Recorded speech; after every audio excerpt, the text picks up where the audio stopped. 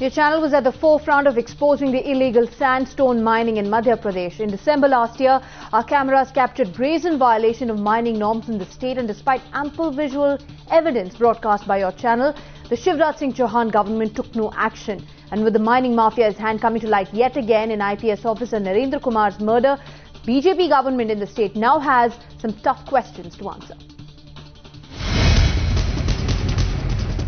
It was in December 2011 that Times Now travelled to Ground Zero in Madhya Pradesh, trying to uncover the truth behind illegal mining in the state. Our cameras captured shocking images of the blatant violation of every guideline against illegal mining. Look close enough.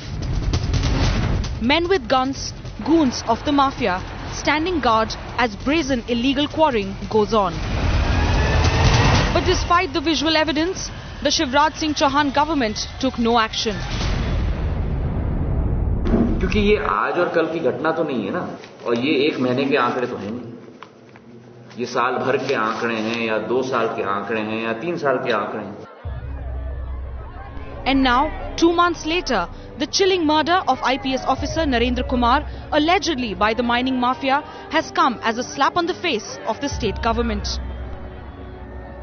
खरीद से जुड़े हुए जितने भी mafia हैं उनके उनको आ, हर स्तर पर शिकंजे में कसने की कोशिश पिछले वर्षों से लगातार जारी है। Despite the visual proof and eye witness account the mining minister shockingly still claiming the government is investigating the illegal mining mafia We are in Bamor district, Gwalior, the place where Narendra Kumar Singh, the IPS officer, was mowed down in broad daylight. These are the common people of this area. Let's ask them कि what really went down.